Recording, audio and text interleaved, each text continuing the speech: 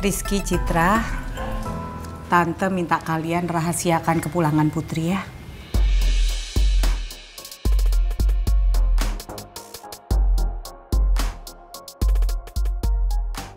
Kenapa ibu ngomong gitu?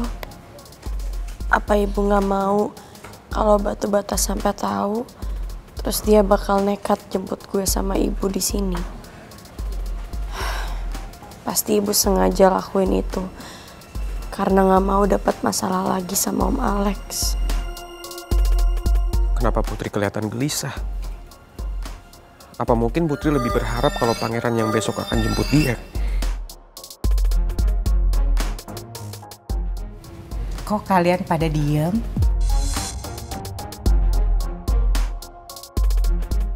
Kenapa nggak dijawab? Ah, Tante Nawang tenang aja. Rizky sama Citra pasti bisa jaga rahasia dengan baik kok. Iya tante. Makasih ya.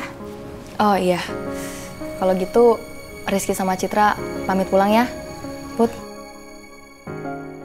Yaudah, Tante anterin kalian sampai depan ya.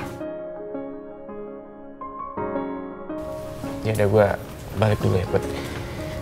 Iya. Ya. gue pamit ya Put. Iya. Udah. Iya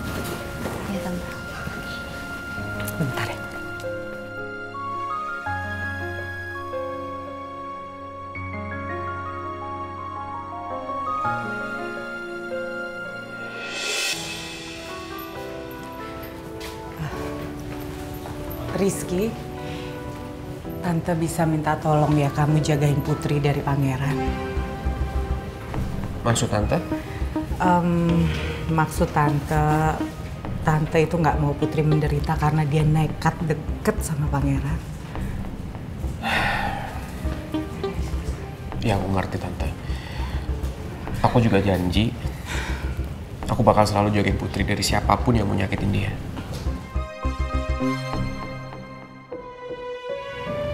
Makasih ya Rizky.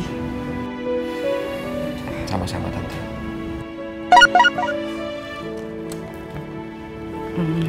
Maaf ya, Tante lihat handphone dulu.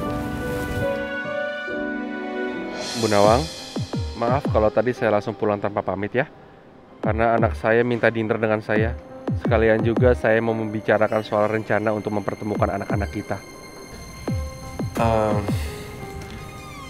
maaf tante, sebelumnya bukan maksud aku buat kepo sama tante, tapi jujur aku penasaran. Penasaran kenapa? Itu barusan WA dari Om Raymond. Lo kok nanya gitu sih?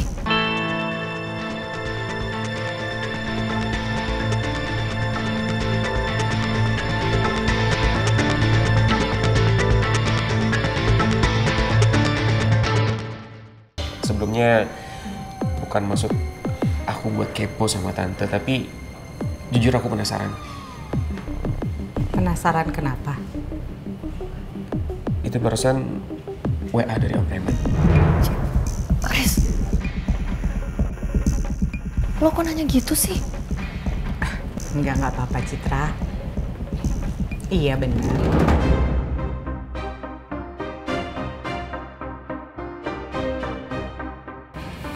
Ini eh, Pak Remon tadi barusan eh, dia WhatsApp kasih tahu maksudnya dia mau pamit langsung. Tadi kan nggak sempat pamit karena dia mau pergi sama anaknya.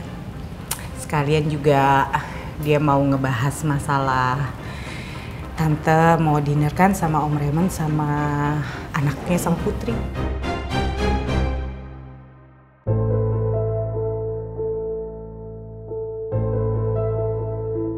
Eh, sebentar ya, tante mau bales dulu.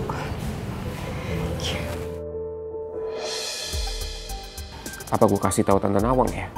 Kalau orang yang selama ini neken dan buat Putri selalu menderita, itu sebenarnya anak dari Om Raymond. Tapi kalau gue kasih tahu yang sebenarnya, Putri pasti marah dan tante Nawang pasti bakal kecewa. Terus bakal jauhin Om Raymond. gue jadi serba salah. Kalau tante Nawang semakin deket dengan Om Raymond, terus akhirnya Mel tahu, pasti Mel bakal buat Putri makin menderita lagi. Ya udah tante, kalau gitu kita pamit ya. Mari tante. Iya. Aku harus ngomong apa ke Mel soal rencana pertemuan dia dengan Putri ya. Aku yakin banget Mel pasti akan marah kalau tahu perempuan yang sudah buat aku jatuh cinta lagi ternyata ibu dari orang yang selama ini dia benci. Apa aku nekat aja ya? Langsung mempertemukan Mel dengan Putri. Karena nggak mungkin Mel mau diajak kompromi soal ini. Riz, gue nggak bisa ngebayangin sih. Gimana reaksinya si Mel kalau tahu dedinya itu deket sama Tante Nawang. Dia pasti bakal marah banget. Cit, lo jangan sampai bilang kata ya. Iya lo tenang aja. Gue nggak bakal kasih tahu soal ini ke Ata. Lagian gue nggak mau kok sampai pangeran tahu kalau Tante Nawang itu deket sama dedinya Mel. Tapi Riz, lo nggak bakal tinggal diam kan kalau sampai si Mel itu cari masalah lagi sama Putri. Lo tenang aja, Cit. Gue bakal tepati janji gue. Kalau gue bakal lindungi Putri dari siapa pun yang mau nyakitin dia.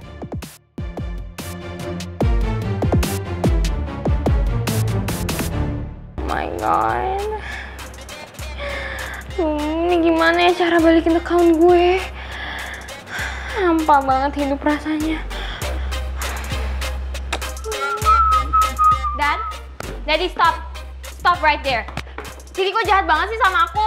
Kenapa Mel tiba-tiba bilang kalau aku jahat ya? Apa dia sebenarnya dia sudah tahu soal kedekatanku dengan Myros? Oh. Dedi bisa jelasin semuanya. Dedi janji, ya? Oke. Dedi jelasin pelan-pelan ya, tapi kamu jangan marah, please. Jadi semua ini ulah Didi. Maksud kamu apa sih, Dedi? Dedi nggak ngerti. Ya Didi kan, yang nyuruh orang kantor Didi, IT Didi untuk ngehack semua account aku. Hah, bener kan? Oh, ternyata cuma soal medsos.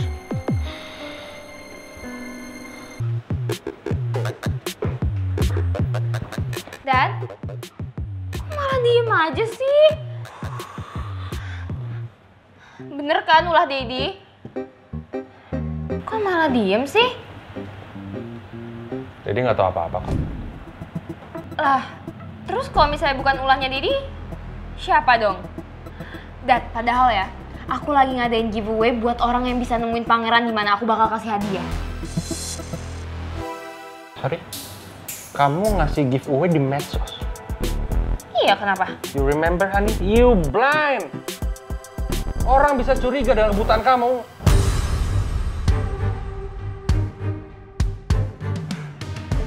Dad, kok yang diomongin Didi sama Tasya sama Fanya sama ya?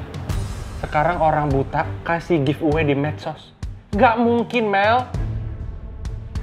Dedi yakin Tasya sama Fanya udah capek dengan kebutaan kamu? Kepura-puraan kamu, sandiwara kamu, mau sampai kapan? Ih, kok Didi jahat sih sekarang? Didi kasar ya sekarang sama aku. Ya, ya Dedi nggak nggak maksud begitu. Udah, udah, udah, stop, stop. Aku udah gak mau dengerin apa-apa, tau nggak? Bye, udah sebel sama Didi.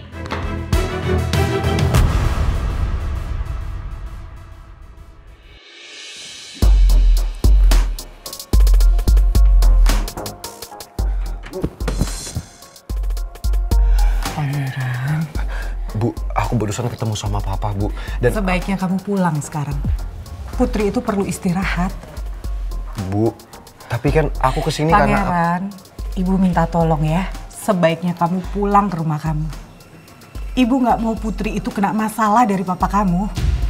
Permisi. sepertinya ada hal lain yang papa omongin ke ibu. Sampai-sampai ibu sebegitu ngelarang gue buat ketemu sama usus goreng. Kenapa semuanya jadi begini? Di saat gue merasa kalau cuman usus goreng yang bisa bikin hidup gue jadi penuh warna. Tapi gue gak akan nyerah. Gue akan buktiin kalau cinta gue ke usus goreng itu bisa mengalahkan ego semua orang.